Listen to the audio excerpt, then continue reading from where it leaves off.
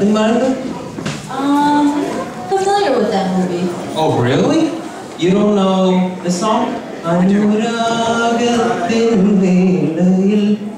Edwin? Can, um, who sings that song? We need Srinivasan? No, I'm saying who's performing that song tonight. Oh, it's Johan Kavanal. Then you should let him perform it. All right, then. Please welcome Johan Kavanal on stage.